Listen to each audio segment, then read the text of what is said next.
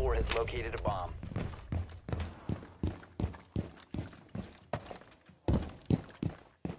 It'll sting a lot.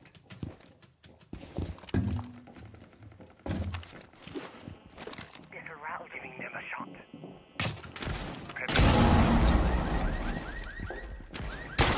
You fucking cock and balls. Can you believe that the voice actor that plays Mozzie just got shot by someone who calls himself Man That's Mozzie? That's fucked.